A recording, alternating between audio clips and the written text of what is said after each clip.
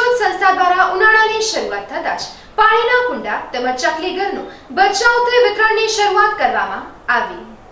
ભુજની માનવજ્યોત સંસ્થા દ્વારા છેલ્લા પંદર વર્ષથી ઉનાળાની કાળઝાળ ગરમીમાં પક્ષીઓને બચાવવા માટે પાણીના કુંડાનું વિતરણ કરવામાં આવે છે.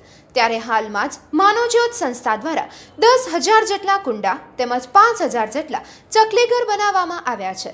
તો આ કાળઝાળ ગરમીમાં કોઈ પણ પક્ષી પીવાના પાણી વગર ન રહે અને મૃત્યુ ન પામે તે માટેની આગોતરી તૈયારી કરવામાં આવી છે.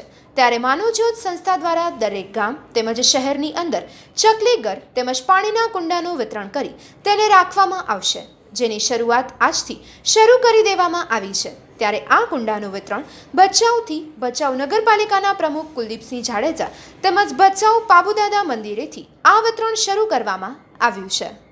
માનવજ્યોત સંસ્થા દ્વારા છેલ્લા પંદર વર્ષથી ઉનાળાની કાળઝાળ ગરમીની અંદર પક્ષીઓને બચાવવા એક અભિયાન છેડવામાં આવે છે. આ વર્ષે પણ અમોએ અગોતરું આયોજન કર્યું છે. આપ જોતા હશો કે અત્યારે ધીમે ધીમે ઉનાળાની કાળઝાળ ગરમીની શરૂઆત થઈ રહી છે. અમે લોકોએ અત્યારે દસ હજાર જેટલા કુંડા અને પાંચ હજાર જેટલા માટીના ચકલીઘર બનાવી અને તૈયાર રાખ્યા છે. ઉનાળામાં કોઈ પણ પક્ષી પાણી ન મળવાના કારણે મૃત્યુને ન પેટે. એવા હેતુ સાથે અમે લોકો કચ્છના દરેક ગામડા અને દરેક શહેરમાં અમારા ચકલીઘરની કુંડા લગાવવાના છે. જેની શરૂઆત અમે લોકોએ આજથી કરી છે.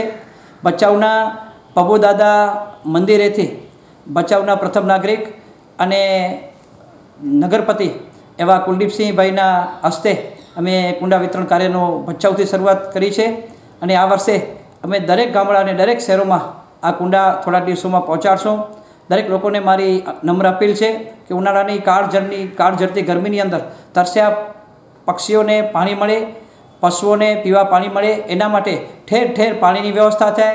આ અબોલા જીવોને પણ સમયસર પાણી મળે એવી લોકોને મારી વિનંતી છે.